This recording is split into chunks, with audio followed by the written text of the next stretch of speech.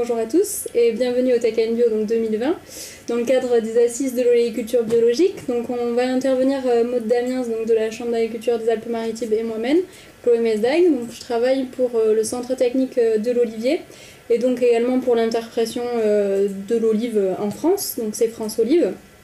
Donc moi je vais vous présenter, je vais faire deux petites présentations, une vraiment rapide sur les différentes méthodes de lutte contre la mouche de l'olive qui sont utilisées en agriculture biologique et dans un deuxième temps, je vous présenterai euh, les résultats d'un essai qui a été conduit donc sur euh, les, applications répétées d'argile kaolinite calcinée et sur ses effets qu'elle pourrait avoir sur la vigueur et la production euh, des oliviers.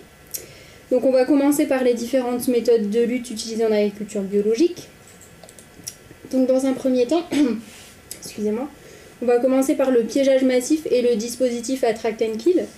Donc euh, c'est une méthode de piégeage qui est disposée à l'aide de deux, euh, de, structures, donc une partie attractif et un système de capture. Donc sur la partie attractif, on a souvent euh, la couleur jaune qui va être attractive et également le phosphate d'ammoniac ou diammonique. Donc euh, c'est ce, ce qui est représenté là, ce que vous voyez sur la photo donc, euh, de, gauche.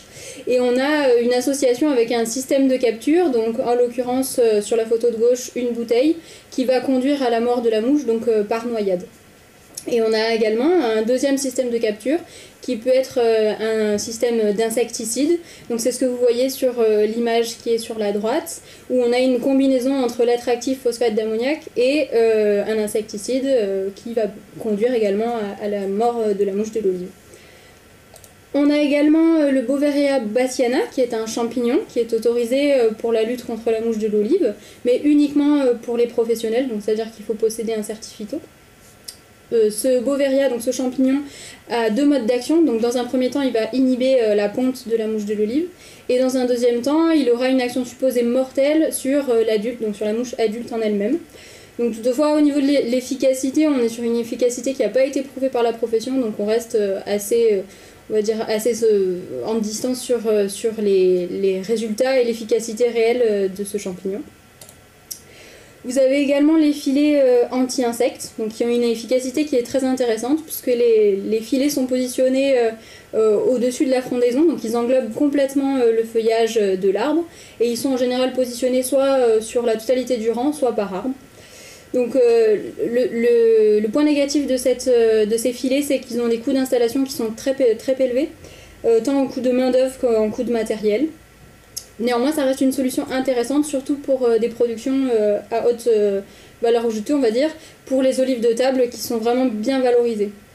Donc ça reste une solution intéressante pour, pour la lutte contre la mouche. On a également le spinosade, donc qui est un adulticide homologué en agriculture biologique, donc qui est également uniquement pour les, pour les professionnels, donc les personnes possédant le, le certifito, dont la rémanence du produit est d'une semaine à une dizaine de jours environ.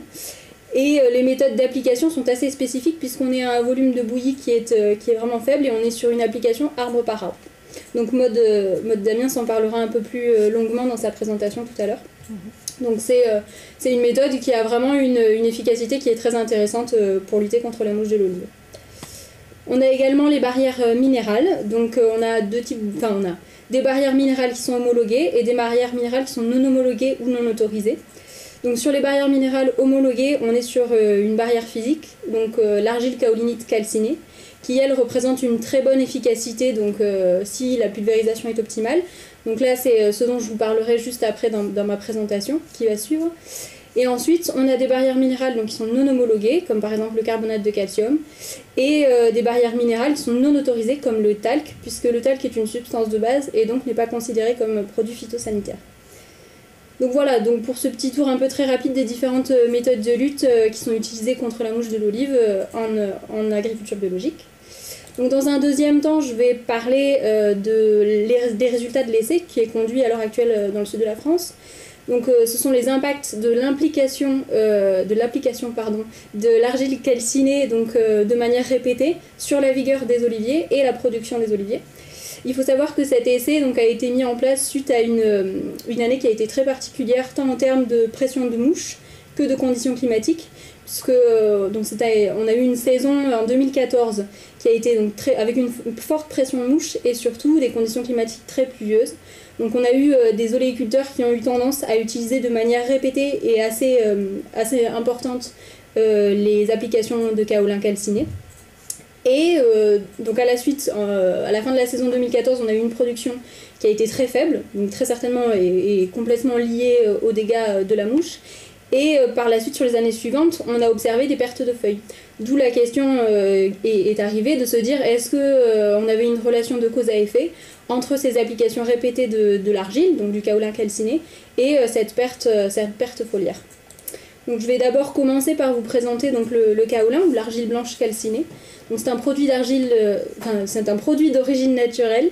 Euh, c'est une barrière minérale qui est euh, homologuée en agriculture biologique et qui a deux modes d'action principales. Donc une confusion visuelle et olfactive qui va empêcher la mouche de reconnaître l'olivier et de reconnaître l'olive.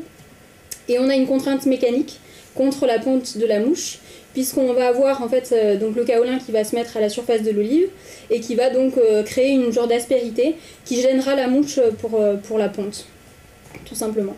Donc au niveau euh, des applications, on est à peu près à 50 kg euh, par hectare sur le premier passage et on est à 30 kg par hectare d'argile blanche calcinée sur les passages suivants. On a une homologation euh, de dose annuelle maximum appliquée de 210 kg hectare. On a une zone, non traitée de 5 mètres et on n'a pas de délai avant récolte, donc ce qui est assez intéressant également. Comme je vous le disais tout à l'heure, on a donc une, application qui est, une, efficacité qui est optimale quand l'application elle-même est optimale. Donc c'est ce qu'on voit là sur les photos, euh, qui sont, projetées.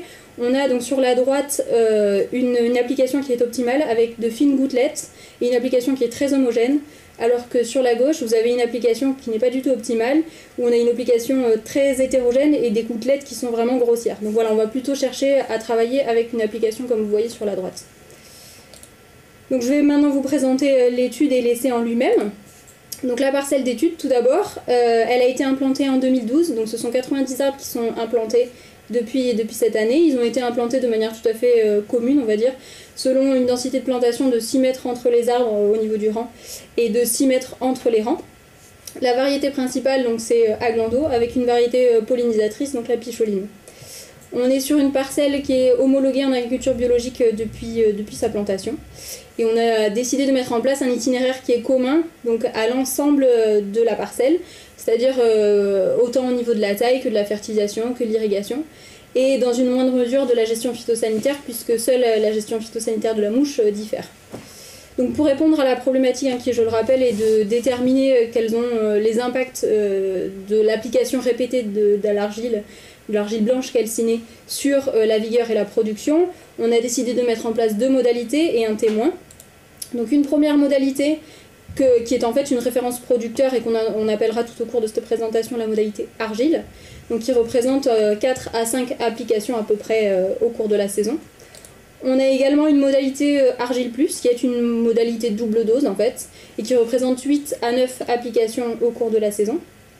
Et enfin, on a une modalité, enfin, on a un témoin qui est non traité et qui est inclus dans le dispositif expérimental. Donc au niveau du positionnement des applications, on a décidé de positionner euh, ces applications en 2017, donc ça a été la, première, euh, la première saison avec application. Donc euh, on a suivi les, règles d'homologation, hein. un premier traitement à 50 kg par hectare avec adjuvant, et les traitements suivants qui sont à 30 kg par hectare avec adjuvant également. Le rythme d'application, bah, il dépend des modalités, donc on est sur un rythme de toutes les 4 semaines pour la référence producteur, donc la modalité argile et de tous les 15 jours pour euh, la modalité Argile Plus. Bien évidemment, il y a des, des renouvellements de, des applications qui sont possibles en cas de lessivage donc par la pluie au-delà de 40 mm et lors d'une érosion euh, par, euh, enfin, lors d'un vent fort ou, ce genre de choses. Donc si on fait un peu le bilan au niveau des quantités apportées par saison, sur la modalité argile, donc la référence producteur, on est à 160, 140 pardon, à 170 kg par hectare d'argile blanche calcinée par saison.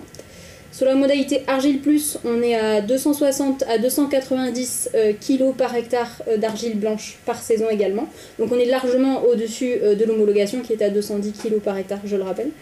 Et au niveau du témoin, on n'a aucune application d'argile.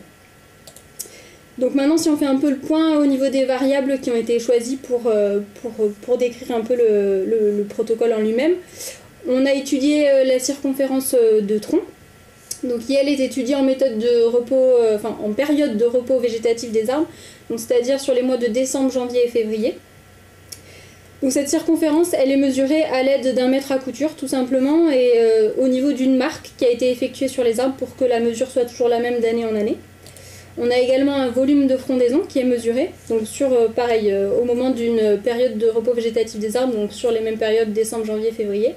Ce volume de frondaison, il est mesuré, lui, par la hauteur de la frondaison, la largeur et l'épaisseur de la frondaison, donc à l'aide d'une perche télescopique et d'un laser également.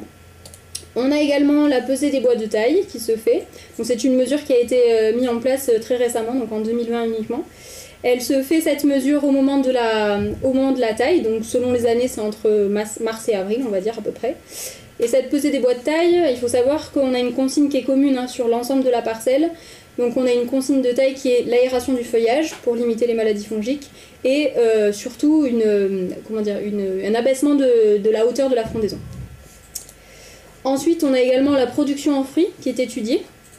Donc elle se fait au moment de la récolte. Donc selon les années, c'est pareil, c'est entre fin octobre et mi-novembre hein, sur notre verger. Et donc cette récolte, elle est faite manuellement à l'aide de pelles électriques et elle se fait par arbre. Et enfin, on a euh, des, variables qui sont un peu annexes, mais qui nous permettent de faire un suivi euh, de l'état sanitaire du verger.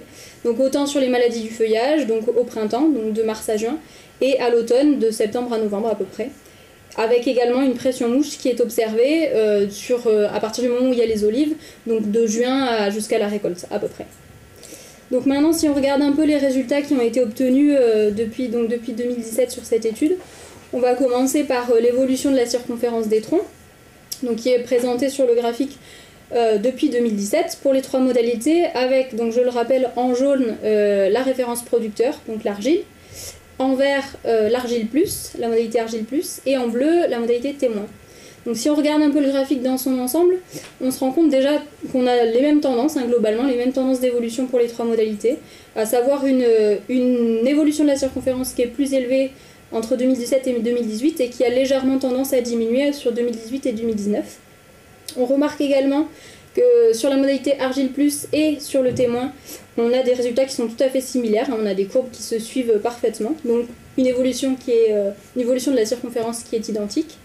Et par contre, on a un comportement qui est légèrement différent euh, de la modalité argile, donc de la référence producteur, avec une supériorité au niveau de, de l'évolution des, des, circonférences de tronc à partir de 2018, donc sur 2018 euh, et 2019.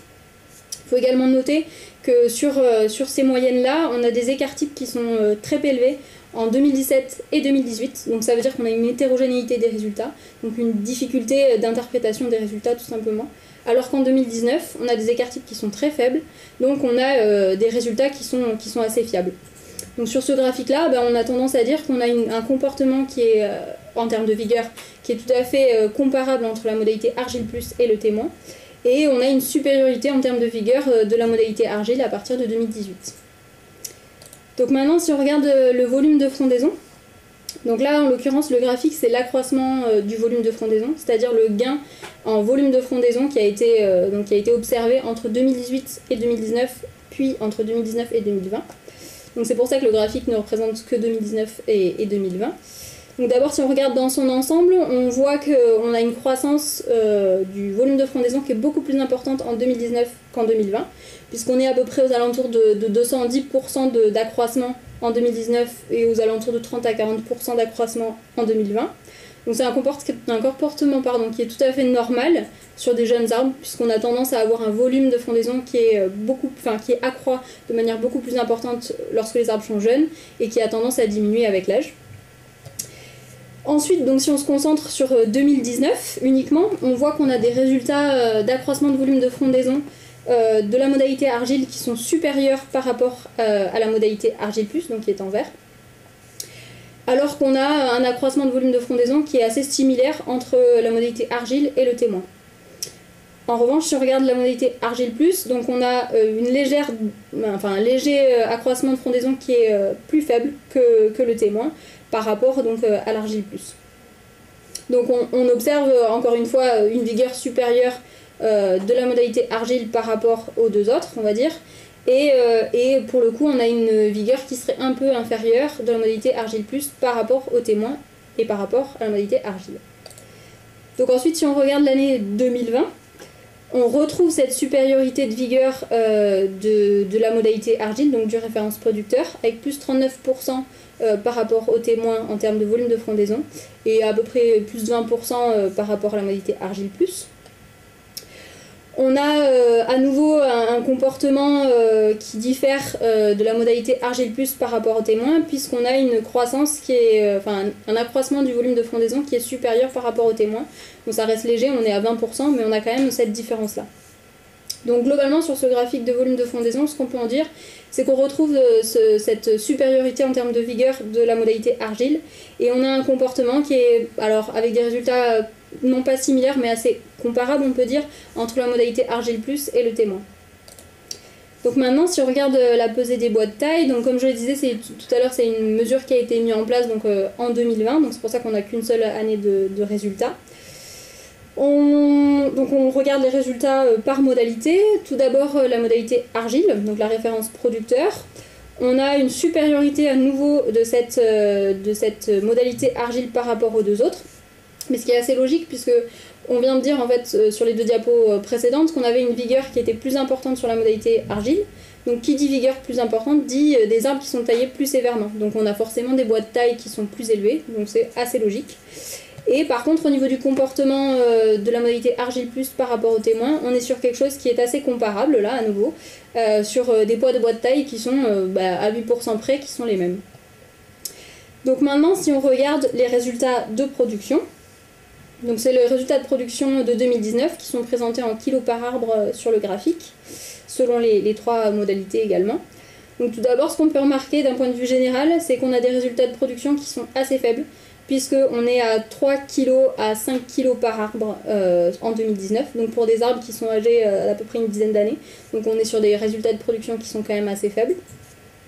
Ensuite, si on se concentre plus particulièrement, on va dire, sur les résultats modalité par modalité, on retrouve à nouveau cette supériorité de la modalité argile par rapport aux des autres, puisqu'on est à plus 74% par rapport aux témoins et plus 80% par rapport à la modalité argile plus.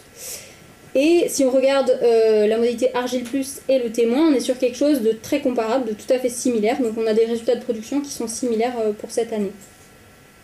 Maintenant, donc, si on garde ces chiffres en tête et qu'on les, compare un peu et qu'on les confronte euh, aux dégâts mouches qui ont été réalisés sur cette année-là, on remarque que la modalité argile et la modalité argile plus a des dégâts de mouches qui sont tout à fait similaires, avec 80% d'olivecène environ, et entre 2 et 5% de pertes donc d'olives trouées. Donc on a vraiment des dégâts qui sont similaires. Alors qu'au niveau du témoin, donc où il n'y a pas eu d'application d'argile et aucune protection contre la mouche, on est à 55% d'olivecène uniquement, et on est à 20% de pertes euh, d'olives trouées. Donc on a vraiment des dégâts qui sont supérieurs sur ce témoin. Donc maintenant, si on garde encore ces chiffres en tête et qu'on repasse sur les résultats de production, on se rend compte que avec une production supérieure euh, sur la modalité argile et inférieure sur la modalité argile plus, avec des dégâts qui sont similaires, bah, ça, veut clairement dire que sur la modalité argile plus, on a une production qui a été inférieure, donc dès le départ. Pareil, on a sur, euh, entre le témoin et la modalité argile plus, on a des dégâts qui sont beaucoup plus importants sur le, sur le témoin que sur l'argile plus. Donc ça montre à nouveau que la modalité argile plus a produit moins que le témoin. Donc sur ce graphique-là, on est vraiment sur une production inférieure de la modalité argile plus par rapport aux, deux autres euh, modalités tout simplement. Donc après, il faut prendre un peu des reculs hein, sur, euh, sur, ce, sur ces résultats-là, tout simplement parce que déjà on n'a qu'une seule année euh, bah, de recul des résultats, donc 2019. Et ensuite parce que quand on, quand on a affaire à ce graphique-là, donc à ces moyennes-là, les écarts types des différentes modalités, on se rend compte qu'on a des écarts types qui sont vraiment très élevés. Donc on a une hétérogénéité des résultats qui est vraiment très importante et donc euh, voilà, qui sont assez difficiles euh, d'interprétation au final. Donc voilà pour les résultats de production.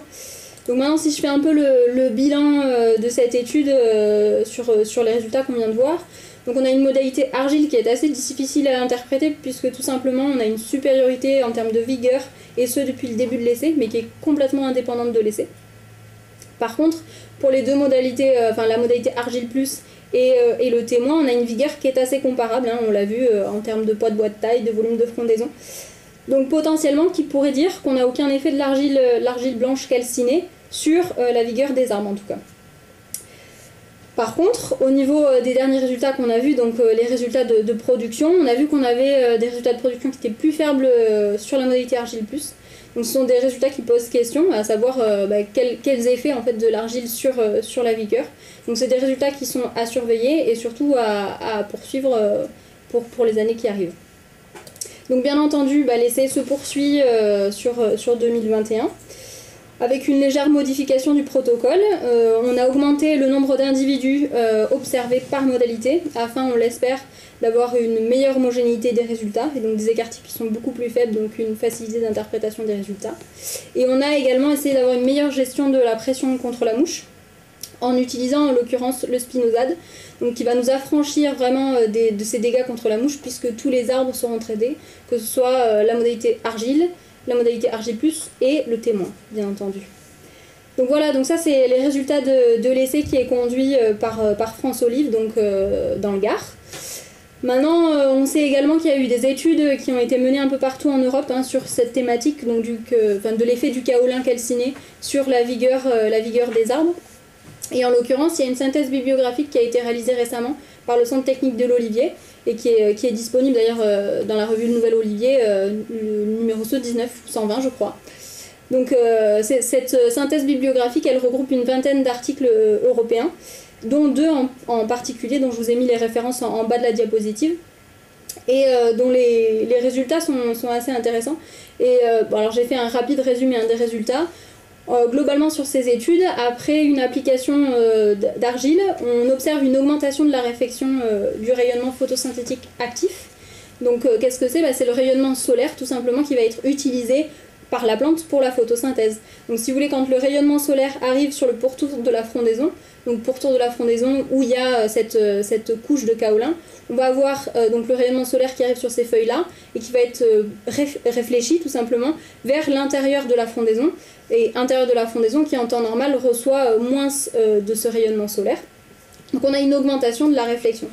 Tout aussi logiquement, si on a une augmentation de cette réflexion sur les feuilles au niveau du pourtour de la frondaison, on a une température euh, de la feuille qui va s'abaisser. Qui dit température de la feuille qui s'abaisse dit la feuille ne va pas vouloir, enfin ne va pas avoir à réguler sa température, et donc on va diminuer le phénomène de transpiration. Et en diminuant le phénomène de transpiration, on va conserver les stomates ouverts et donc on va favoriser le maintien de l'activité photosynthétique. Donc voilà, ça c'est les effets euh, qui seraient plus positifs donc euh, d'une couche d'argile euh, calcinée appliquée sur, sur les arbres. À savoir quand même et à garder en tête que ces effets-là, ils restent, enfin ils ne sont pas observés en cas de stress hydrique trop intense, parce qu'en cas de stress hydrique pardon, trop intense, on va avoir un phénomène de transpiration qui va être trop important et on va avoir quand même une fermeture des stomates et donc euh, un arrêt de l'activité photosynthétique. Donc voilà, globalement, hein, je vous ai un peu présenté euh, l'ensemble, euh, enfin l'ensemble. J'ai fait un rapide tour des résultats qui, étaient, qui étaient à notre disposition au niveau européen et j'ai surtout présenté les résultats donc, de, de l'étude française qui est menée par François Olivier. Donc après, je reste à votre disposition. Hein. Je, vous ai mis mes coordonnées donc, euh, en bas de, la diapositive pour, euh, pour les questions si nécessaire. Je vais euh, laisser la parole donc à ma collègue Maud Damiens qui va vous présenter un peu un essai qui a été réalisé sur la combinaison donc, de l'argile blanche calcinée et, et, de, et du cinéis APA, qui est du spinosade. Merci Chloé. Alors moi dans le prolongement de ce que vient de vous présenter Chloé, euh, avec un petit focus sur les argiles. Je vais maintenant vous parler d'une stratégie de lutte contre la mouche de l'olive en bio euh, qui associe les barrières de kaolin calciné avec l'insecticide sous forme d'appât localisé, le Cineis APA, que Chloé vous a brossé rapidement euh, au départ avec les différentes solutions utilisables en bio. Et dans un contexte particulier d'utilisation de, matériel de pulvérisation innovant de ce Cineis APA, puisque ça va être des appâts qui sont localisé et microdosé. Alors, ce travail d'évaluation, je l'ai réalisé à la Chambre d'agriculture des Alpes-Maritimes avec le concours financier du Centre mhm. technique de l'Olivier dans le cadre du financement de son réseau de parcelles de démonstration. Cette stratégie, elle a été mise en œuvre par Alain Banis sur son exploitation, le GAEC du Maoupas, donc dans les Alpes-Maritimes à la Gaude, la saison dernière, donc la saison 2019-2020. Le matériel euh, dont il a été question, donc, qui a été testé, c'est un matériel de la société italienne Casotti, qui nous a été mis à disposition, prêté par la société Corteva, qui est la société distributrice du Cinéi Sapa. Alors, je vais vous présenter déjà le verger sur lequel a été réalisé ce suivi, cet essai. Euh, donc c'est le verger du Maoupas, 2 euh, hectares 55, 570 oliviers de la variété cailletier, qui est planté en 6 par 6,5 avec une taille euh, annuelle, qui a historiquement une production assez importante, hein, en moyenne 7 tonnes hectares, et qui présente les caractéristiques de deux configurations sur ces parcelles à forte pente de 80 à 140 mètres d'altitude. Donc une zone haute qui présente de fortes pentes, donc des pentes à plus de 50%, et une zone basse de l'exploitation organisée en restanque. Euh, donc cette euh, exploitation est maintenant en agriculture biologique depuis plusieurs années. Elle valorise sa production en AOP huile et olive de Nice et donc l'objectif c'est bien pour l'exploitant d'optimiser sa destination à la table, donc pour avoir une meilleure valorisation. L'environnement de cette parcelle, l'environnement direct, c'est des forêts, des habitations, des oliveraies voisines, et sur l'exploitation des agrumes et des serres de Strelitzia. L'environnement un petit peu plus large, c'est euh, une exploitation qui se situe dans la plaine du Var, tout proche de la mer. Donc les conditions de sensibilité à la mouche de l'olive, elles sont importantes. Donc vous, le voyez ici sur cette carte euh, du CIRAM qui représente un petit peu euh, avec des colorations le risque de, de pression mouche de l'olive. Euh, donc là, on est sur le petit, curseur euh, ici, euh, un petit peu en zone rouge dans la plaine du Var, un point chaud. à 6 km et demi de la mer, donc avec une exploitation en, exposition pleine mer. Alors, la stratégie qui a été déployée, je vous, je vous l'expose ici à travers une vue aérienne de la parcelle et les trois points clés de cette stratégie. Donc, d'abord, il y a eu une limitation stricte de l'irrigation sur cette parcelle par vrai choix de conduite pour limiter au maximum les conditions euh, favorables à la mouche de l'olive. Donc là, l'objectif, c'était de ne pas faire de l'élevage de mouches. C'était une première euh, clé de, la mise en œuvre de cette stratégie. Alors la deuxième euh, clé de protection, c'est la mise en œuvre des barrières de protection à base de kaolinite calcinée à la dose homologuée dès le début de la saison de pression mouche de l'olive avec un renouvellement à chaque fois que nécessaire. Donc soit parce que beaucoup de temps s'est écoulé, euh, il y a eu un petit peu de vent, le fruit a grossi, soit parce qu'il y a eu un lessivage important par la pluie. La troisième clé de cette stratégie, c'est la mise en œuvre euh, d'adulticides sous forme d'appât localisé, donc le Cinéis Sapa. Donc ça, c'est en complément des barrières d'argile. Donc là, on est bien dans une stratégie mixte.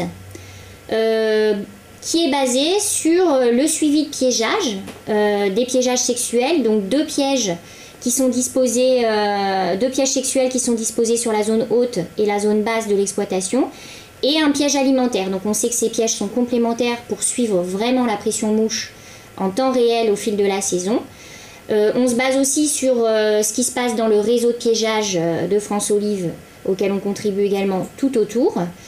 Et euh, donc quand c'est jugé opportun sur pic de piégeage, application de ce cinéis-sapa avec des appâts concentrés, avec des faibles volumes de bouillie. Donc là, notre entrée, c'était d'être entre 5 et 10 litres de bouillie hectare et dans la limite des 4 applications maximum autorisées.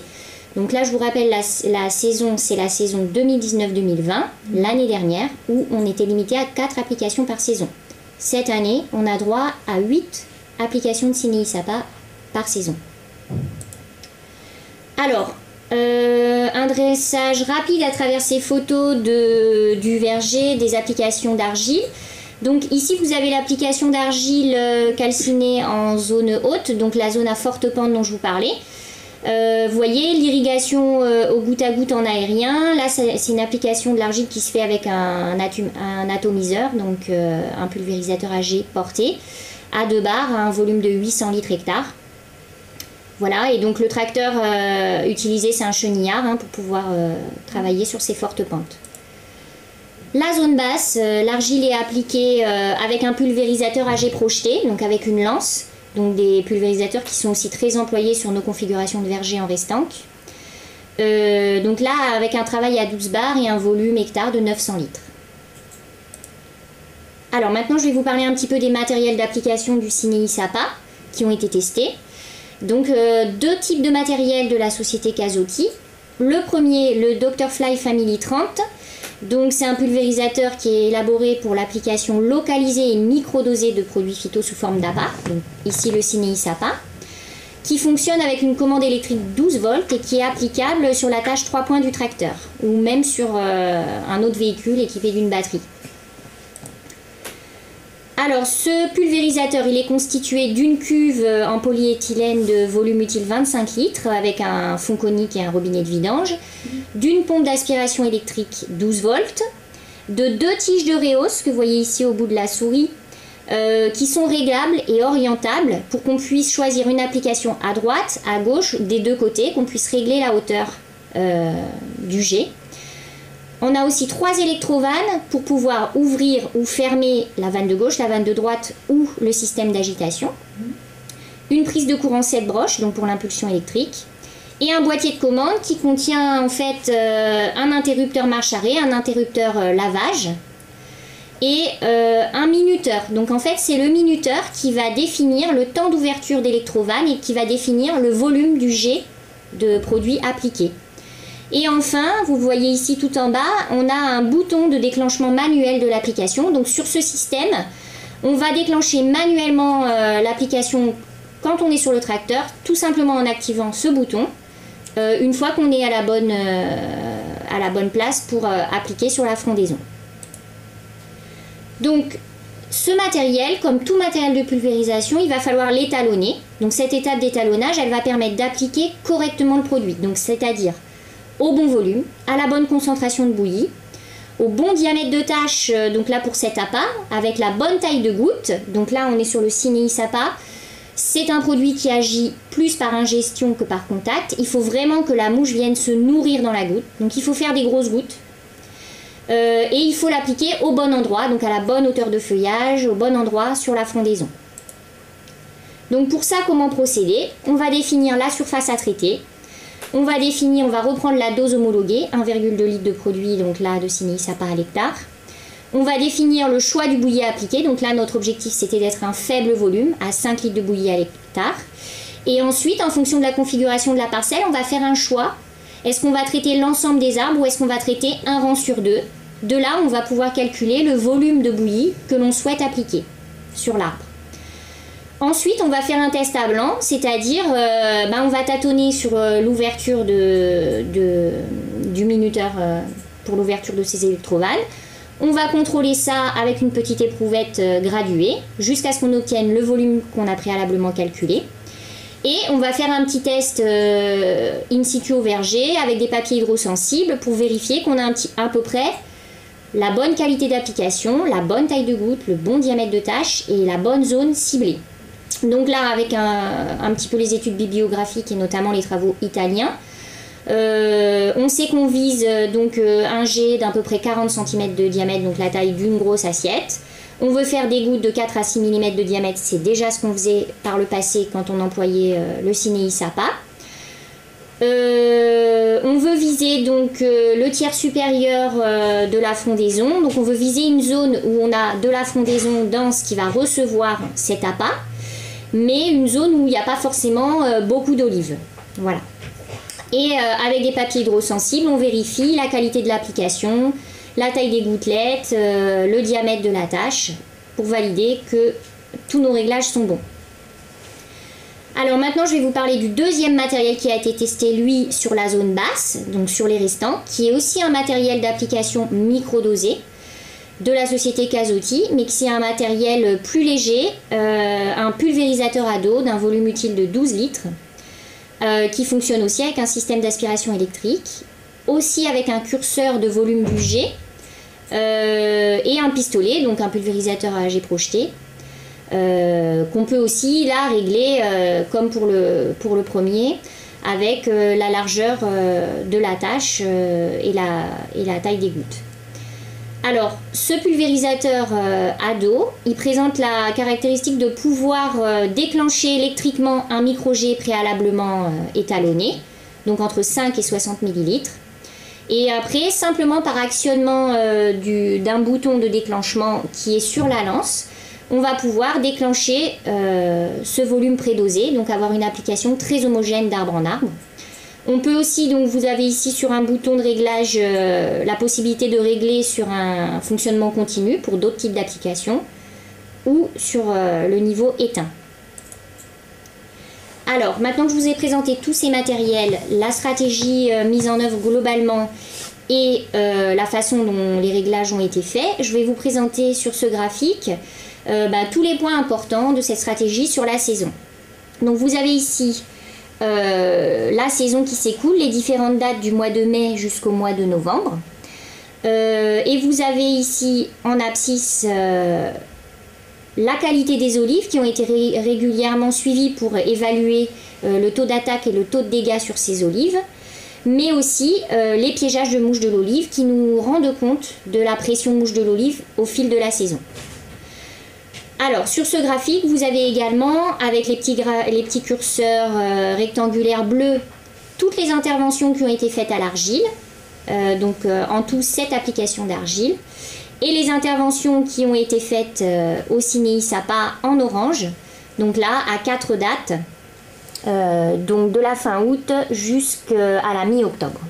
Voilà. donc vous voyez ici sur ce graphique une pression de mouche de l'olive bien présente, avec, euh, je le retrouve ici, avec euh, euh, le piège alimentaire et les pièges sexuels qui marquent des pics de piégeage importants.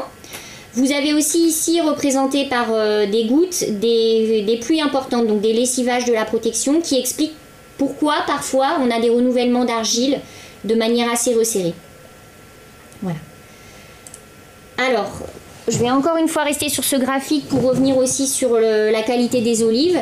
Donc vous avez ici en vert euh, les olives saines et puis euh, sur le dessus des, courbes euh, cumulées, vous avez aussi une représentation des olives piquées et des olives trouées par la mouche de l'olive. Et des olives dalmatiquées suite à l'action de la mouche et du champignon. Alors, ce graphique, je le mets en parallèle avec les conditions météo euh, qui sont recueillies sur place, parce qu'on a une station météo toute proche sur notre station euh, d'expérimentation de la Chambre d'agriculture, le CREAM.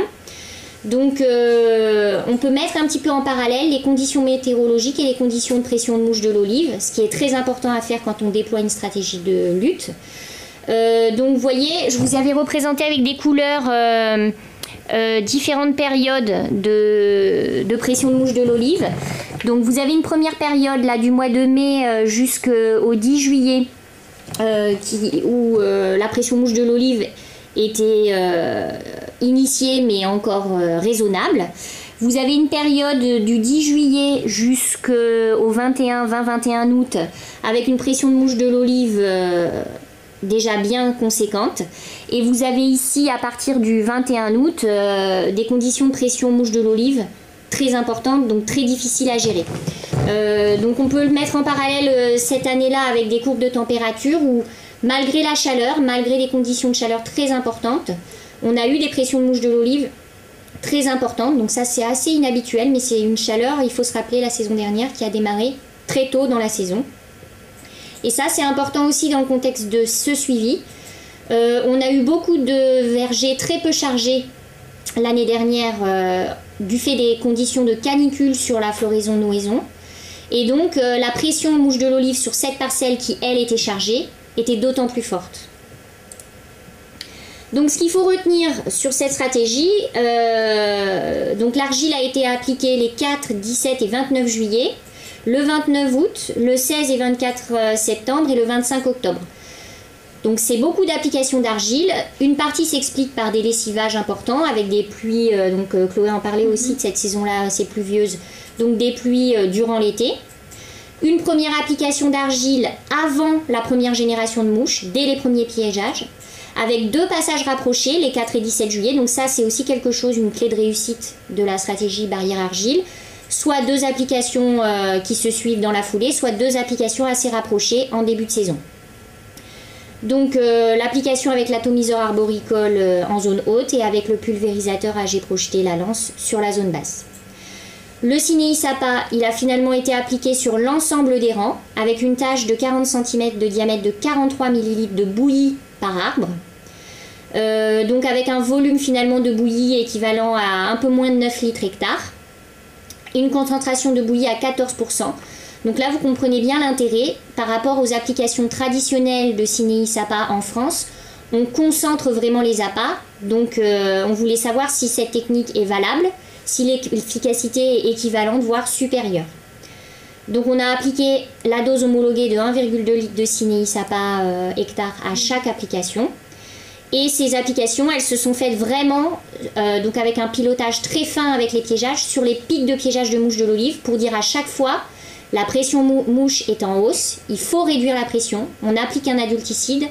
Donc là, on est vraiment sur des applications fines, sur des pics de piégeage où l'efficacité de la stratégie, elle se joue à un ou deux jours près. Donc là, les applications ont eu lieu le 26 août, donc pile poil sur la première période chaude que je vous décrivais là à partir du 20-21 août. Une le 11 septembre, une le 30 septembre et une le 7 octobre. Donc c'était à chaque fois en correspondance avec des pics de piégeage importants. Alors, ce qu'on peut dire sur cette stratégie, ben, cette stratégie globale, limiter l'irrigation, protéger euh, de manière préventive avec des barrières de kaolinite calcinée et limiter la pression quand elle s'envole avec l'application d'adulticides euh, localisés euh, en bio. Elle a été efficace cette stratégie puisque au final au maximum des dégâts de la saison on a atteint 4% de dégâts cumulés, piqûres et trous de sortie. Une pression de mouche de l'olive qui était euh, quasi nulle jusqu'au 10 juillet, limitée jusqu'à la mi-août et qui est devenue très importante, continue et croissante à partir de la troisième semaine d'août, jusqu'à la récolte, démarrée euh, ici fin octobre, mais qui s'est étalée euh, jusqu'au début d'année suivante. La limitation d'irrigation, c'est un facteur clé de limitation de la pression. Ça, on a pu le voir aussi en comparant les piégeages sur des parcelles voisines dans le réseau. Euh, donc on avait des piégeages quand même moins importants quantitativement sur cette, zone-là, sur les périodes euh, critiques, que sur des parcelles voisines irriguées. Euh, on est allé assez loin là dans la limitation d'irrigation. Il y a eu une seule irrigation déclenchée début septembre. Donc on est allé sur des niveaux de stress hydrique assez importants, des olives bien fripées, mais qui ont bien regagné en turgescence et en calibre avec les pluies automnales et on a obtenu euh, vraiment des fruits de qualité euh, à la récolte. Une bonne efficacité de la kaolinite calcinée en présence de mouches de l'olive pour empêcher les piqûres de ponte et une baisse des piégeages observés après chaque application de Cinéi Sapa. Donc euh, au niveau de l'utilisation de ces outils aussi, puisqu'on a vu il y a eu une efficacité puisque baisse de piégeage après chaque application. Euh, bon, bah, on peut dire de ces outils qu'ils sont pratiques, euh, légers, les réglages sont faciles, il suffit d'un petit peu se pencher sur l'opération d'étalonnage et après on fait des applications soignées et efficaces. Donc pour le Dr Fly Family 30, donc le pulvérisateur tracté sur la tâche 3 points, il fait moins de 30 kg, on travaille à faible pression, 4 barres, ça nécessite peu d'eau. En fait, si on travaille à des volumes de 5 litres hectare, un seul euh, réservoir, ça permet de traiter jusqu'à 5 hectares. Euh, on fait des applications en APA qui sont très standardisées, très homogènes et c'est assez rapide. Donc là, je vous donne au passage le, coût de cette, euh, cette, machine, autour de 1600 euros, qui semble adaptée donc sur des grandes parcelles et des parcelles mécanisables. Le second matériel, le matériel pulvérisateur à dos, le Sparamosca, il est léger, moins de 7 kg. Il permet de travailler à faible pression, 3 barres. On a une bonne durée d'autonomie de la batterie. Euh, bon là sur ce matériel testé on avait une longueur de câble un peu limitante. Donc nous on travaille sur caillotiers qui sont des oliviers de grande taille. Mais ça c'est des choses qui sont tout à fait adaptables euh, par la firme. On a d'autres producteurs qui depuis ont eu des adaptations sur leur modèle commandé. Euh, je vous donne aussi le tarif à titre indicatif, 420 euros. Donc ce matériel-là, il semble aussi adapté sur des parcelles plus petites ou plus difficiles d'accès. Et pareil, avec un petit volume, euh, et un poids léger, on peut euh, traiter quand même des surfaces assez intéressantes. Donc je vous remercie pour, votre attention sur cette partie suivie en conditions réelles chez l'exploitant d'une stratégie mixte qui met en œuvre plusieurs clés de réussite en oléculture bio pour lutter contre la mouche de l'olive. Et puis je vous invite à suivre la suite des travaux puisque cette année, France Olive, le Centre technique de l'Olivier, les chambres d'agriculture et les autres partenaires du réseau en oléiculture euh, travaille d'autres thématiques, euh, beaucoup sur la thématique oléiculture bio. Et nous, à la Chambre d'agriculture des Alpes-Maritimes, on renouvelle euh, sur une autre parcelle au domaine de Champ-Soleil, à la Trinité, dans les Alpes-Maritimes, l'évaluation de ces matériels, de ces stratégies mixtes argile, cinéi, sapa, pour confirmer les résultats très positifs menés sur cette première année de parcelle d'essai, et pour tester d'autres types de matériels d'application, notamment de l'argile. Euh, qui peuvent sembler intéressantes euh, dans nos configurations de parcelles et sur nos olivrets. Voilà. Merci.